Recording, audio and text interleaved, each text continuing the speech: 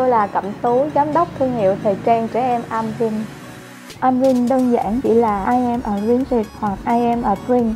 Mỗi bé trai hay bé gái đối với chúng tôi đều là một công chúa hay hoàng tử. Trước đây tôi là một viên chức nhà nước, rồi nhập thời trang trẻ em theo dạng sách tay của Mỹ và bán online. Qua 4 năm tiếp xúc với khách hàng, tôi nhận ra rằng thương hiệu trong nước khó cạnh tranh được vì chất liệu và màu sắc. Lúc đó tôi có ý định tạo ra một thương hiệu thời trang trẻ em Việt Nam nhưng chất lượng phải ngang bằng với các thương hiệu nổi tiếng. Sự khác biệt của sản phẩm Amrin là tất cả đều được ra đời theo một bộ sưu tập màu sắc đặc trưng. Mỗi một bộ sưu tập là một gam màu với một câu chuyện riêng cho từng gam màu đó. Đặc biệt, Amrin không gia công ngoài mà là trực tiếp sản xuất tại xưởng do Amrin đầu tư để đảm bảo sự tỉ mỉ từng đường kim, mũi chỉ và trách nhiệm cao nhất trong từng sản phẩm. Tôi mất gần 2 năm cho việc set up cửa hàng, thượng may, lên ý tưởng cho các mẫu thiết kế. Và đến tháng 1 năm 2018, Amrin chính thức được thành lập với hai cửa hàng tại thành phố Hồ Chí Minh. Hiện nay thì Amrin đã có được 5 cửa hàng, 5 chi nhánh với 48.000 lượt khách hàng, trong đó có hơn 4.500 khách hàng thân thiết. Tuy vậy, hành trình bước đi của Amrin không chỉ có màu hồng. Khó khăn đầu tiên là lúc Amrin mở xưởng sản xuất.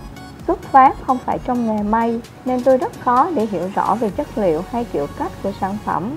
Nhưng với khát khao mở ra thương hiệu trẻ em của chính mình, tôi bắt đầu hành trình bằng cách tìm các loại vải ở chợ, đến từng cửa hàng để hỏi tên vải, nghiên cứu các chọn vải cho từng loại quần áo Song song với việc đó là khó khăn trong quản lý xưởng may cũng như phải thay đổi không biết bao nhiêu lần chính sách bán hàng sao cho hợp lý nhất có thể. Đến khi Amrin ra đời bộ sưu tập đầu tiên và tung ra thị trường, việc quan trọng nhất với tôi lúc này là tìm kiếm được phần mềm để quản lý chuỗi cửa hàng. Cho đến khi tôi vô một diễn đàn về phần mềm, có nhiều tranh luận giữa Sabo và một phần mềm khác.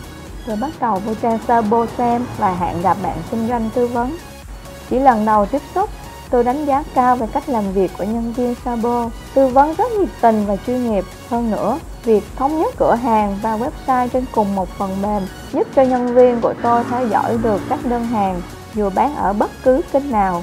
Đúng những cái mà tôi đang cần.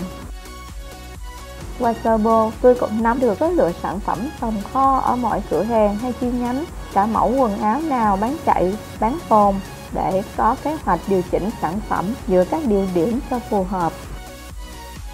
Mong muốn của Amrin là đưa những sản phẩm chất lượng tốt nhất đến các bạn nhỏ trong cả nước và tiếp tục mở rộng chuỗi cửa hàng Amrin. Trong quá trình này, tôi sẽ vẫn tiếp tục đồng hành cùng Sabo.